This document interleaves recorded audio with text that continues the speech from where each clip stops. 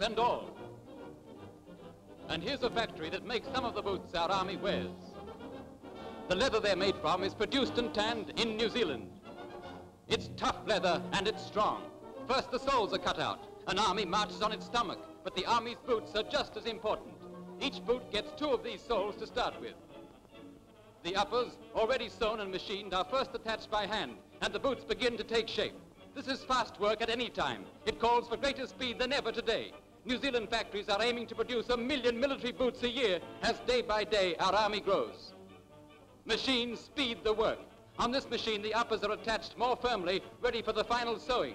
This is skilled work, and it calls for strength, quickness of the hand and eye. And knees as well as hands are used. Workers on these machines are trained workers who know their job. On their skill, on their machines, and on the boots they make, the army depends. The final sewing of the uppers onto the sole is careful work. Strong linen thread soaked in hot wax is used. It will hold fast against the toughest wear.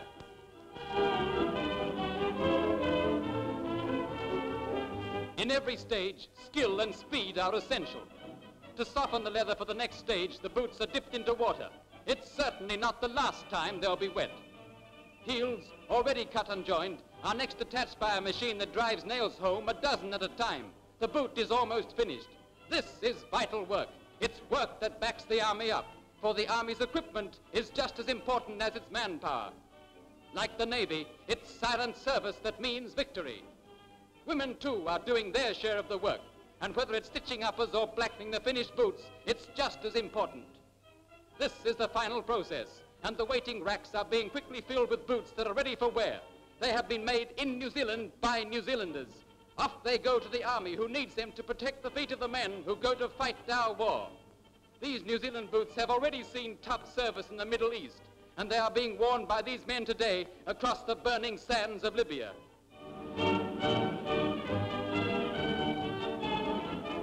The same men who wore them in the mountain passes of Greece, on the rocky hills of Crete, and came back, boots and all.